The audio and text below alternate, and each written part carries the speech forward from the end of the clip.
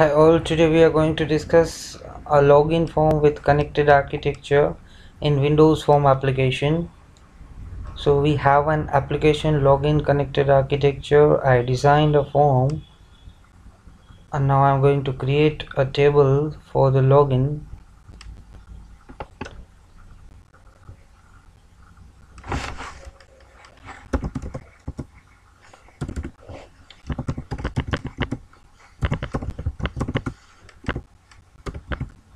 Username and password is required here.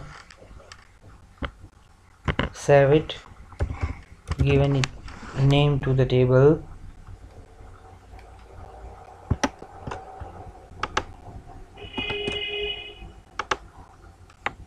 Put some record in the table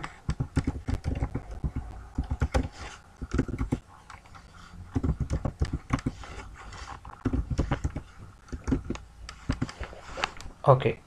Now move to your application. Generate a click event.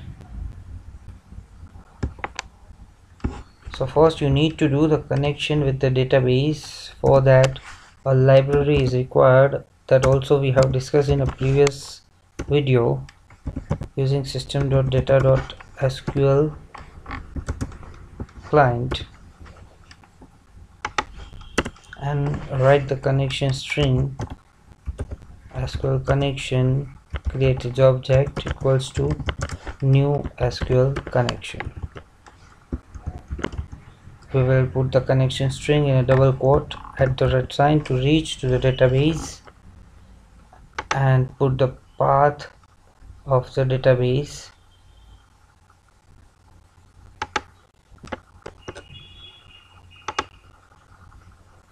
connection string property is used. Copy and paste.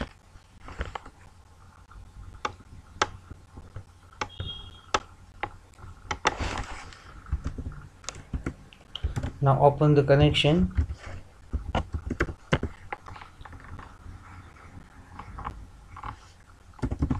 Give a message box for confirmation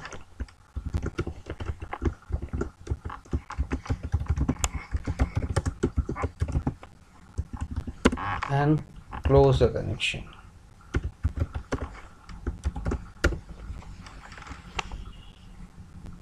Thank you for watching. Now we will discuss the login entry code in the next video. Thank you